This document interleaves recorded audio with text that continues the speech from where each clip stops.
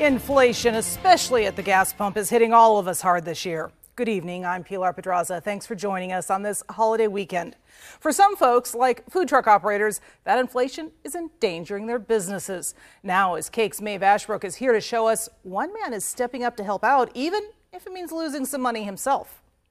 Pilar, he owns the Truck Stop, a food truck park here in Wichita. Also a food truck owner himself, he knows just how hard things are right now in the food industry and just wants to help out.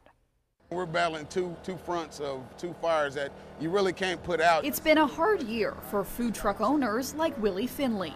From inflation to gas prices. Unless you live around the corner, eh, which most of them don't, it's one of those things to where that gas cost is always going to affect their bottom line. A worry local food trucks have been telling KAKE News about for months now. You're just going to have to raise the prices like everyone else and go with the flow. If it continues to rise, we might reassess our pricing. So Finley, who also owns the truck stop, a food truck park, is stepping up to help. I've already had four people sign up. He's getting rid of his $50 daily parking fee. The local trucks are still traveling to the Goddards, to you know the Kingmans, to the uh, all these the Cheneys, all these out of town uh, smaller uh, communities to thrive. It all came about after a truck from McPherson stopped at his lot near Kellogg and Woodlawn. Came over, was going to pay me the uh, the fifty dollars it was to park, and I just something just hit me like, bro, you just drove an hour here. You, you know what I'm saying?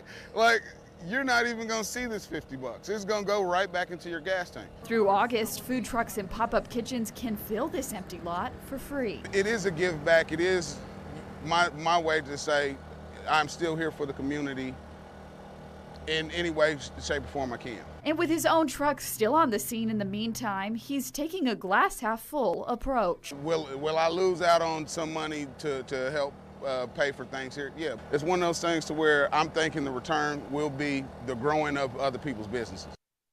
Those four food trucks and pop-up kitchens that have already signed up will be out at the truck stop starting next Monday. Finley has more information on signing up for the free spots online. We've included a link in this story at kake.com. Live in studio, Maeve Ashbrook, KAKE News on your side.